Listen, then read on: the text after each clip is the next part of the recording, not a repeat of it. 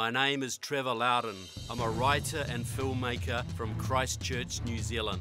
I have spent the last several years in America and have addressed more than 400 audiences in over 40 states. My mission is to expose the influence of radical and terrorist groups in the mainstream political parties, academia, media, and the culture. In my recent travels, I've come across two phrases more and more often Antifa and civil war. But who is Antifa? Why are they organising? What are their goals? I knew from my 30 years of studying radical movements that Antifa would likely be connected to more mainstream leftist organisations. I knew that Antifa was a reincarnation of the so called Black Bloc, a protest tactic where gangs of black clad, masked street protesters engage in anonymous violence. These were the anti Iraq War radicals who rampaged through San Francisco's financial district in 2003.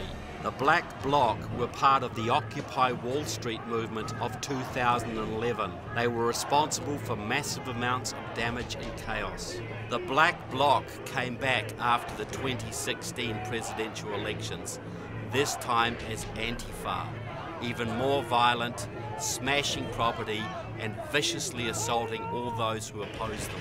There was also another difference.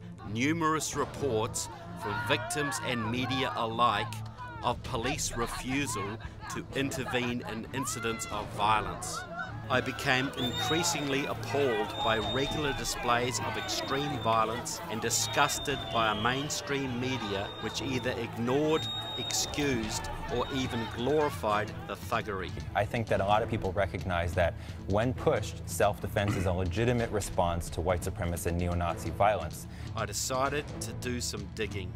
I immersed myself in the deepest recesses of the internet. Then I reached out to some of Antifa's most prominent opponents. And even if I didn't agree with them on many things, I sought out the most active warriors against Antifa.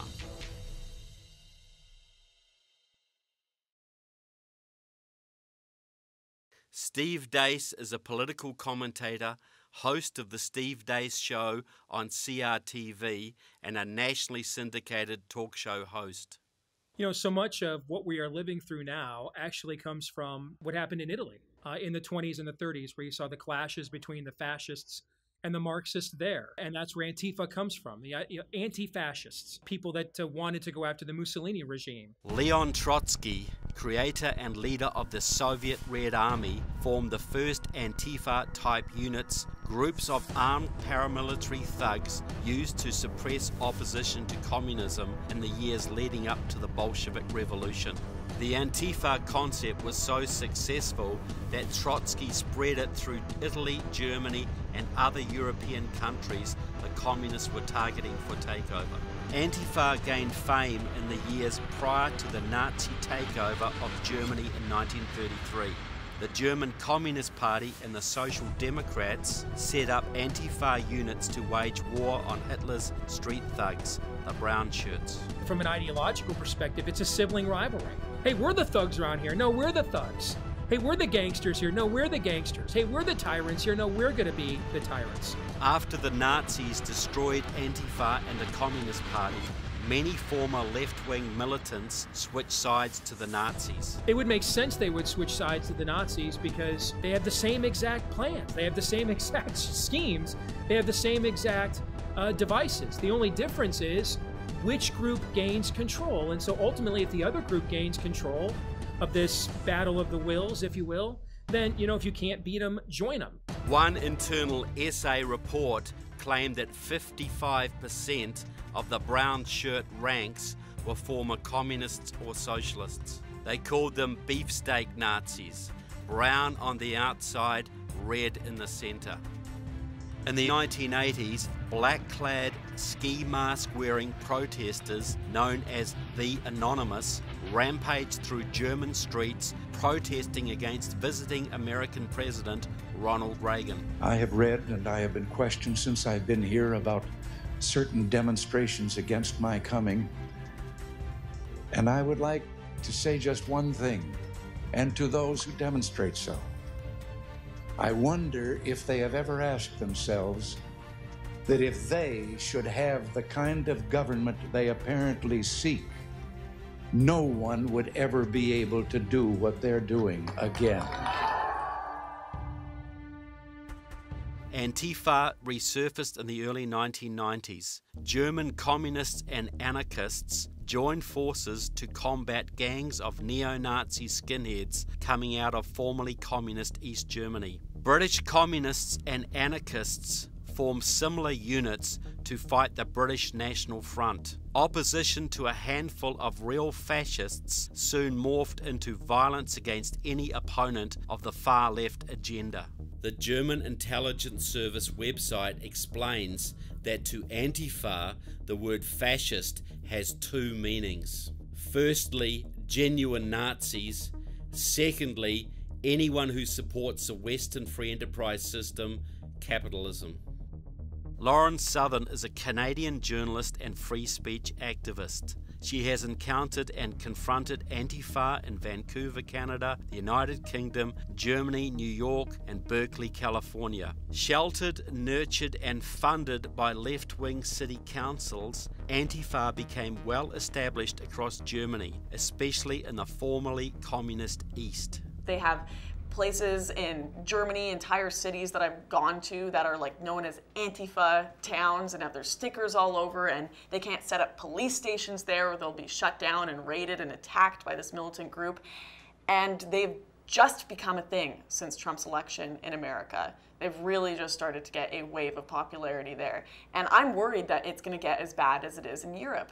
I was interviewing a young man in Germany who was like, please blur my face, please distort my voice in this interview. He wasn't saying anything particularly offensive, just something with a remote right wing. That, that would be an moderate idea in America. And he was so afraid because he said the Antifa in Germany would put him on their website and on their lists, and they might hurt his child. They might come after his job, his livelihood, crash his home. There are plenty of stories of the homes of fascists being raided and all their things being smashed. Milo Yiannopoulos is an English born, American based political commentator, media personality, and journalist. Milo's speaking events have been attacked by Antifa on several occasions, forcing him to spend half a million dollars a year on personal security. Antifa is an organization that claims to fight fascism um, being anti-fascist, but is actually you know the most fascist organization probably in the United States, um, dedicated to you know, closing down by violent means um, the speech of libertarians and conservatives and basically anybody they don't like. Um, anybody and, and, and who they don't like is a, is a is a net cast very wide. Gavin McInnes was a co founder of Vice Media. He has challenged Antifa repeatedly in New York and Washington, D.C. As a teenage anarchist punk, Gavin McInnes fought Nazi skinheads on the streets of Ottawa and Montreal. When I did my talk at NYU, I got pepper sprayed. Um, we, they wouldn't let my guys in, so they stayed and fought. Two of them got arrested, and they're just fighting, fighting, a mob. I went and did my talk like this can barely see because it keeps dripping into your eyes from your forehead no matter how much you clean it. And uh, they were screaming, whose campus, our campus, whose campus, our campus, in, in, in a catatonic state. And I went over to my microphone. There's plenty of mics. And I couldn't do my talk. And the professors, by the way, pretended they were regulating this talk, but they weren't. They didn't kick anyone out. They just said, please sit down, just going through the motions. But they're implicit in all this. And I went over to the guy and I said, here's a microphone, come on up. Let's have it out. And as I brought the microphone to him, the way I describe it is it was like a radioactive dick. So as it got closer to him, he went, oh, and this sort of, the, whatever you call that meter, that radioactive meter, was going closer to him. And he'd go, oh, who's coming? And then when it got really near his face, he'd just cringe. And then as I walked away, whose campus? Our campus. Whose campus? And it got louder and louder. Most American Antifa came out of the anarchist movement. They were anti authoritarian, they wanted no government, maximum freedom.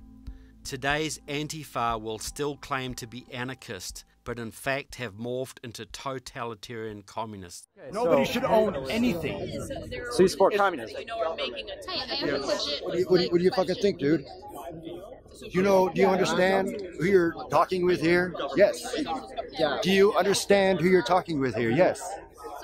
Do you under fucking stand? Yes. I am a fucking communist. Okay. They have no problem saying we are communist anarchists, and they wave the hammer and sickle, and they've basically been duped by Marxists. So, what's the difference between today's anarchist movement and the communist movement?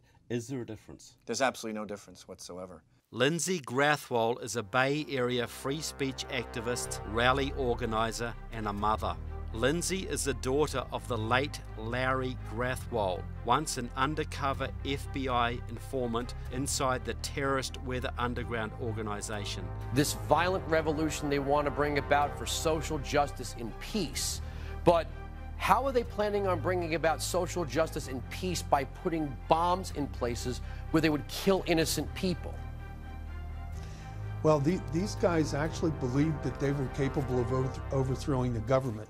They honestly believed that they were going to succeed um, and that the only way to accomplish this goal of creating a communist society and government here in the United States was uh, by uh, strategic sabotage. What impassioned you to be involved in this? My dad probably inspires me the most. Um, just what he did and me seeing what's going on and how it reminds me of everything that happened to him.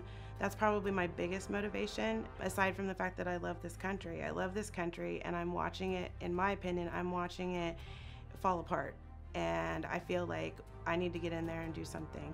So, your dad, Larry Grathwohl, tell us a little bit about what he did back in the 70s that makes him so exceptional? He was in Vietnam. He was uh, in the 101st Airborne. Um, when he returned from Vietnam, he went to uh, University of Cincinnati where he ran into the SDS, which was eventually turned into the Weather Underground Group, which is a domestic terrorist group from the 1960s and 70s. My father was the only FBI informant that was able to penetrate this group when they went underground. He was their runner. He would run messages between the Central Committee and other groups. And so he knew what, what, what the main characters in that group were doing at all times. He watched them plan bombings, um, watched them plan many acts of violence, and Antifa reminds me of the Weather Underground just 30 years later. So, one of the leaders of the Weather Underground, who I know your father knew very well, was Bill Ayers. Yes. The famous professor from Chicago yes. who mentored uh, Barack Obama. Yes. Bill Ayers is involved in the leadership of Refuse Fascism, one of the main Antifa groups nationally, actually, yeah. a front for the Revolutionary Communist Party. How does that make you feel seeing that man who your father knew back then as a terrorist, now leading Antifa today? Angry. I'm angry. Um, this man should be in jail. Um, him and his wife, Bernardine Dohrn, they should both be in jail. They should not be out. It makes me angry because he's out there pushing this, but not only is he out there pushing this now, he's been allowed to push this in our schools for decades. And I firmly believe that his teachings, just him and the liberal teachings, have made Antifa what it is. Jack Posobiec is a highly controversial journalist, activist, and former Special Projects Director of Citizens for Trump. He has served several tours in the Naval Reserves as an intelligence officer. Jack uses his intelligence skills to track Antifa activities. I, am not a Nazi. What are you doing, man? Hey! We were told 20 years ago that communism had collapsed, that communism was no longer a problem. Yet we see violence and anarchy on America's streets like we haven't seen since the 1970s.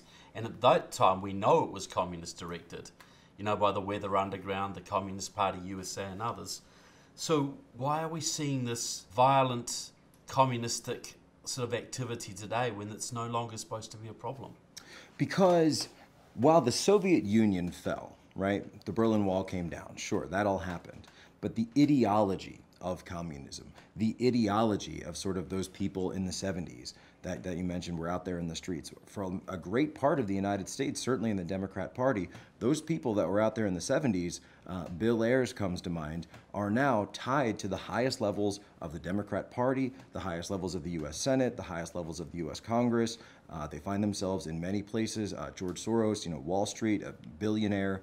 Uh, and so having this amount of money tied to those ideologies is now, we're now seeing that even though, okay, the, the, the government, the infrastructure of the Soviet Union fell, certainly, uh, but the ideology of communism was not defeated. While researching the funding of these radical groups, I came across information from the Capital Research Center $50,000 was channeled to refuse fascism through the Communist Party aligned Alliance for Global Justice. They received a $50,000 grant, which, if you trace it back through sort of a liberal group, then a progressive group, then a globalist group, it actually goes back to the Open Society Foundation and George Soros. It's funny because it's almost like getting a game of whack a mole with George Soros, but it really does tie back to him in a lot of cases. I sort of look at Antifa as, as the ultimate Cloward Piven plan. They're like the ultimate expression of the Cloward Piven plan. And if you know that analogy, these were two professors at Columbia University in another era who took a look at America and realized she was never going to knowingly adopt Marxism because there's just too much freedom and prosperity out there. People aren't going to give that up without a fight, right? You know, so uh, instead, overrun the system with victimology, overrun the system with bureaucracy so that the system collapses and then they feel as if they have no alternative but to turn to government to save us. Antifa is after the exact same thing. Create enough chaos in the streets, create enough bloodshed in the streets, people lose faith in their government. Chaos is the friend of the Marxist. Soviet communist leader Leon Trotsky, a master of propaganda, used the Soviet media to vilify all opposition to communism. Are there parallels with today's media? I think the people who are doing the dangerous stuff, it's not me cracking jokes on stage in front of college students. The dangerous stuff is the media, um, you know, constantly talking about punch a Nazi, you know, to say, you know, to asking whether it's okay to punch a Nazi at the same time as branding everyone Nazis. It's the media constantly calling Republicans uh, bigots, anti-Semites, white nationalists, white supremacists on the basis of no evidence whatsoever. And I've been called all of those things, and it's ludicrous. To just be grossly generalistic, you could put half of Trump supporters into what I call the basket of deplorables. Right? The racist, sexist, homophobic, xenophobic, Islamophobic, you name it. This is called concept creep. Activists expand the meanings of words to advance their agenda. To Antifa, fascist now means anyone who opposes socialism. Racist means anyone who voted for President Trump. There are two steps in this process. First, vilify and dehumanize your enemy. Second, destroy your enemy. You have to understand, like, my generation grew up our whole lives watching movies like Indiana Jones, where the coolest thing in the world is to punch or kill a Nazi, right? We watched Inglourious Basterds, which is just get me 100 Nazi scalps. And then we, we grow up through this inauguration election cycle and we're told in university media, all the popular culture, that Donald Trump is Hitler. His supporters, those red caps, they might as well be swastika armbands. What are you supposed to do? if you are told that this is going to be the rise of a man who you've been taught has killed millions and millions of people, what are you how are you supposed to react to that? The only logical response to that is to go and try to stop it by any means necessary. Just kill them all. Kill Trump. Let's kill all these Nazis. And again, Trump is a Nazi and everyone who voted for him is, a Nazi. So let's kill, I don't know, 100 million people. Would that be good? As Marxists are wont to do for their utopias, right? That they haven't planned out yet. In America, almost all major Antifa violence has occurred in cities where the police are reined in by far left Democrat controlled city councils. Boston, New York, Washington, D.C., Charlottesville, Virginia, Portland, Oregon, Oakland, San Francisco, Berkeley, California. We found evidence of considerable Antifa Democrat interaction. Sometimes the ties are personal. Among those Choi says committed crimes, Linwood Kaine, the son of former Democratic Party vice presidential nominee Tim Kaine. Linwood Kaine will have to appear in court to face charges for fleeing on foot and obstructing the legal process. Wall Street too. Donald Trump is screwing you. Linwood Kaine fought the police and had to be restrained with a chemical spray. In some cities, Antifa has actually penetrated the Democratic Party. In Orlando, Florida, Dylan Tyre leads the Antifa group Knights for Socialism, which is completely controlled by America's largest Marxist organization, Democratic Socialists of America. Dylan Tyre serves on the local DSA Executive Committee. His chairman, Adam Whitmer, doubles as a field director for the Florida Democratic Party. Often, Antifa is funded and trained by Democratic Party allied labor unions. Such is the case in Portland, Oregon. When we were in Portland, there was actually Antifa training that was happening Saturday before the rally in Portland on Sunday. There were posters planted all around Portland that our, our guys got pictures of. They wanted me to go in, and we were going to try to send a couple of our people in there just to find out what they're doing. And I was willing to do it. I said, okay, but I didn't make it in time. So they tried to send a couple of um, other people that I know in there. They immediately they were stopped before they could even get up the driveway. What's interesting is that the training happened at the labor union building. Yes, it was going on there, and then one of the Antifa people, of course, they all have you know. Um, bandanas on their face. You can't see who it is. He said he wanted to make it known that not only did they own that building, but they owned three or four blocks, like the whole, you know, all around there. That our guys needed to get out of there, like right now. Very organized. It was very, very organized. It wasn't a cheap looking building. It was very nice um, from what I saw the pictures. That's not college kids just protesting. There's money behind these people lots of money. When it comes to Antifa thuggery, Berkeley, California is in a class all of its own. Well, I was gearing up to give a regular talk in Berkeley, like one of my college talks, like I always do, um, and we'd had some information that they were going to try some some drama, and then suddenly we heard that the building was on fire and things were being destroyed outside. And it turned out that this armed mob of like uh, 200 well-funded, well-organized, you know, thugs had shown up, uh, ready for war, basically, throwing firebombs at the side of the building, like storming it. The police had been told to, to back off. So I got evacuated from the building and the you know the police were just not prepared to protect me or anyone associated with me or my audience. Not necessarily fans of mine but just people who wanted to come and hear what I had to say or even other protesters.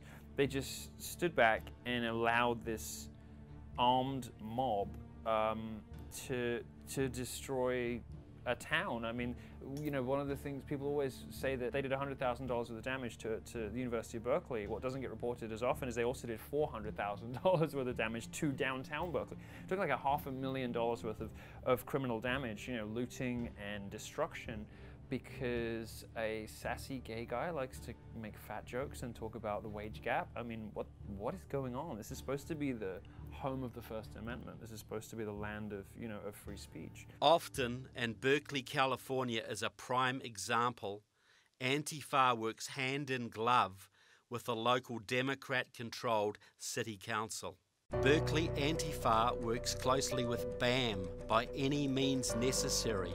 BAM leaders, including Yvette Felarca, are very close to the Berkeley City Council. Current Berkeley Mayor Jesse Arreguín former Mayor Loni Hancock, and current Berkeley City Councillor Kriss Worthington have all been members of the BAM Facebook group. What specifically is it about Milo Yiannopoulos that you and others have an issue with? Well, first of all, Milo Yiannopoulos is a fascist. He's a white supremacist. He's funded by Steve Bannon and Breitbart.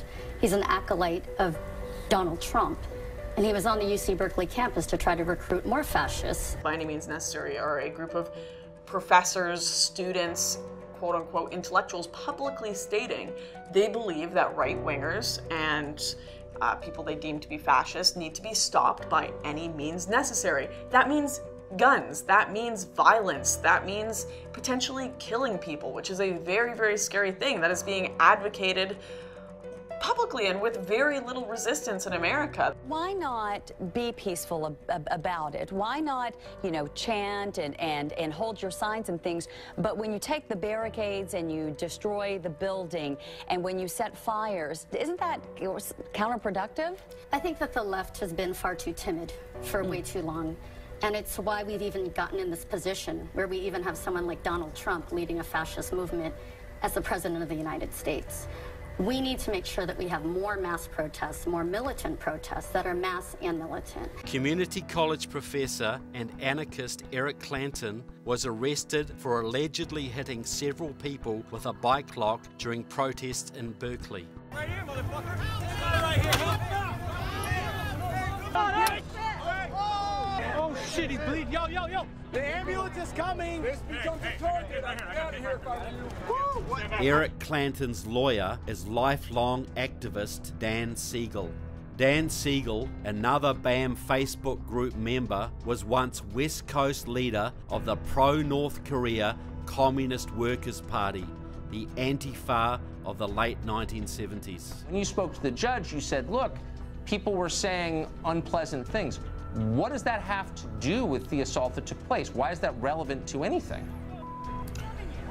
I think there was a lot of anger at the demonstration on April 15. These all-right people were using Nazi and KKK salutes, waving a flag that has Nazi and KKK symbols on it. People didn't like that. Uh, there was yelling back and forth. Uh, what happened beyond that, I think, needs to be proven in court. I don't think there is proof that my client attacked anyone. They need moral chaos in a culture. They need to bring a culture to the divisive breaking point where it essentially turns to the strong man, the authoritarian figure that is the leader of their tribe, and say, hey, fix this for us, save us from ourselves, bring us order. Uh, and that is the siren's song. I have seen the violence escalate on my tour up to a shooting and then UC Berkeley, which was just pandemonium, as a direct result of the failure of law enforcement to nip um, these violent incidents in the bud. Hey, how come you guys are hanging back? That would be a good question for the chief of police.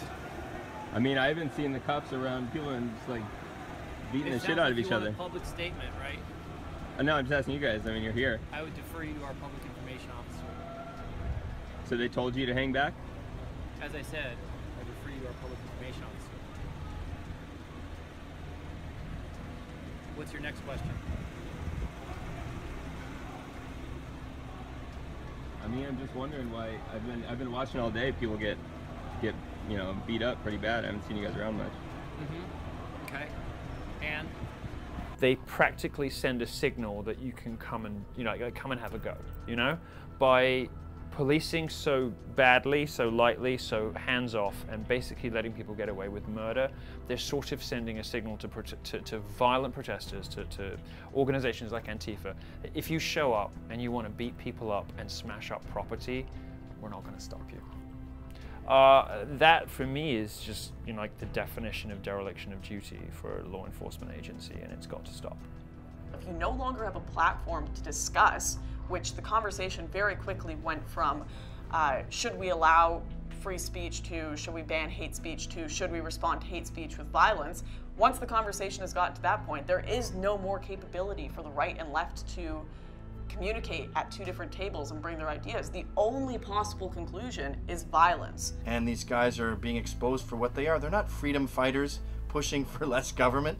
They're brainwashed communists trying to kill people. Milo's event, there were people being on the streets that were just being beat with sticks, innocent women just being pepper sprayed, just everywhere we went. There was piss being thrown on us, explosives being thrown at us, bricks being thrown at us, we were being beat, punched, everything.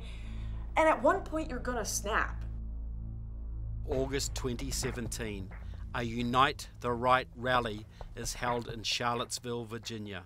This was not like previous rallies. It was not led by peace loving patriots infiltrated by a few crazies. This was a rally of genuine white supremacists, bona fide Nazis, and Ku Klux Klansmen. If you are walking down Main Street America waving a Nazi flag, one, you're a moron. Two, you're a terrible person. The whole event was a disaster waiting to happen. Thousands of activists swarmed on the town looking to confront Nazis. Workers' World Party brought a contingent to confront the cops and their Klan running dogs in Charlottesville, Virginia, as part of a battle to take down altars to racism, what the media cynically calls Confederate monuments. It wasn't just Antifa, it was Democratic Socialists of America, International Workers of the World, the Party of Socialism and Liberation, and the pro Russia Workers' World Party. Essentially, what you're dealing with from a worldview standpoint are two peas in a pod. Their only argument they really have is we want to be the thugs in control and not you.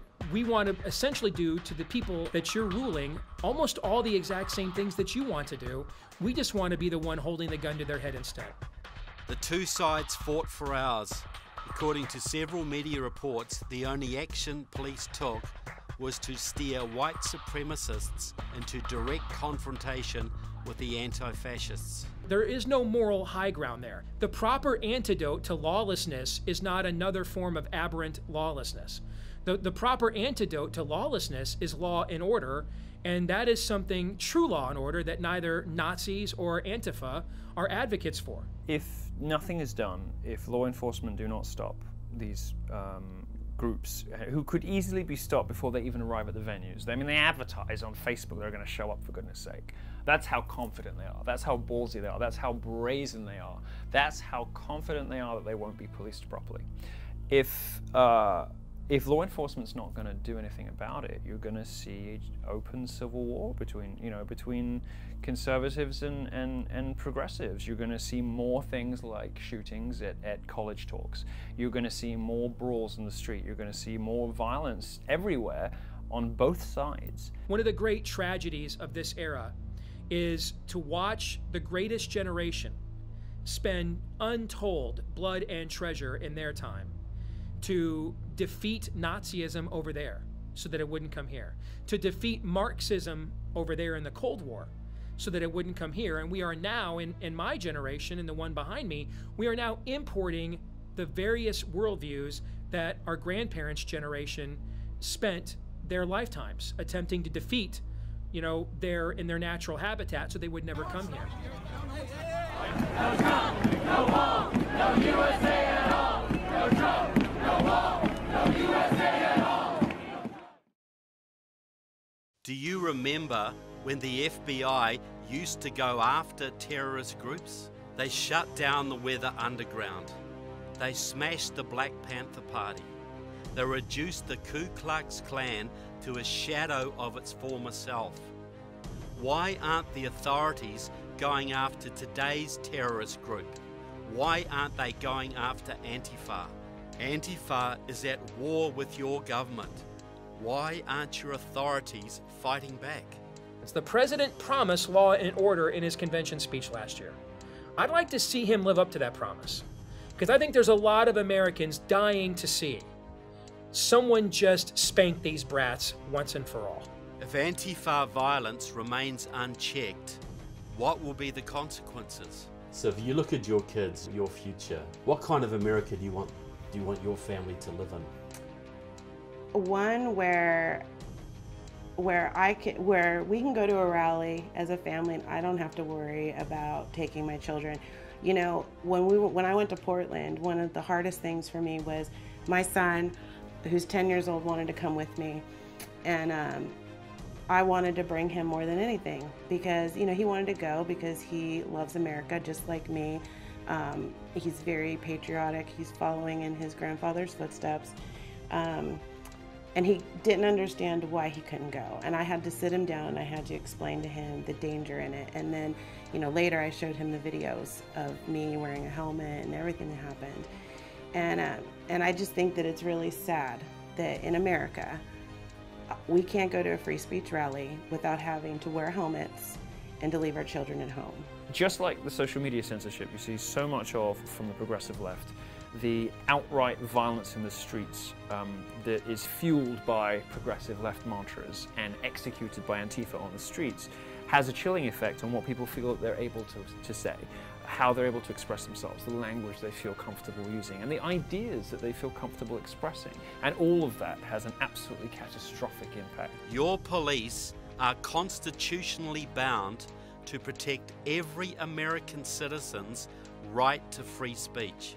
What will happen if the police are prevented from protecting Americans exercising their First Amendment rights? Every American's right to speak freely must be protected at all times by county, state, and federal law enforcement authorities. Most people, regardless of how they voted in this last election, don't want to live in an America that looks like the Berkeley campus. Your founding fathers enshrined free speech as the very first amendment to your Constitution.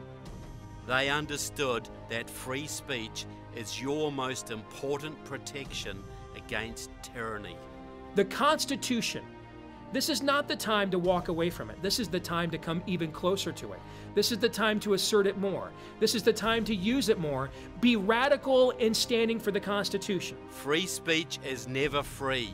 It must be fought for by every generation. What are you going to do? And history, Trevor, shows us all throughout cultures that see these sorts of clashes in the streets, we all know what the next step is tyranny. In a perfect world, I shouldn't have to be fighting for freedom. It should just be. Um, I would love to be able to just spend, you know, all my time with my kids. Um, but the way I look at it is, is that I wouldn't be doing anything else than this right now because our country needs it and I want this country to be better for my kids. I want them to be able to stand, in, like I said, in the middle of San Francisco with their flag and be proud and not be afraid to do it. The United States of America is the bastion of free speech. If that liberty is lost here, it will die in every corner of the world. Please, America, do not allow that to happen.